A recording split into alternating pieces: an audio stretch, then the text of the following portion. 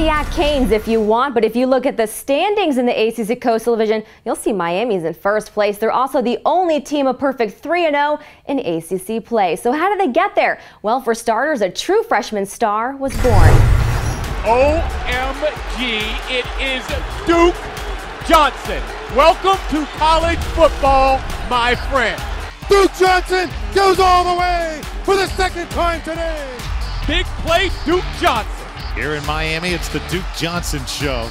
He is amazing. We are watching somebody who could be a legend at Miami when it's all said and done. Then, September 22nd, Miami arrived in Atlanta to challenge Georgia Tech in a Coastal Division clash. That was just a little too easy, wasn't it?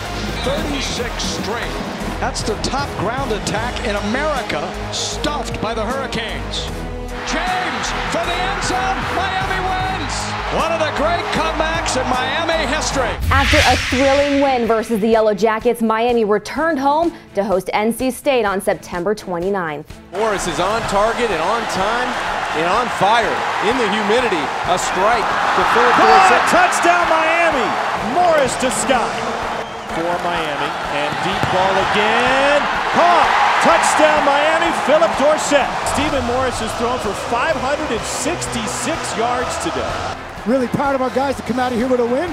Now we're off to South Bend.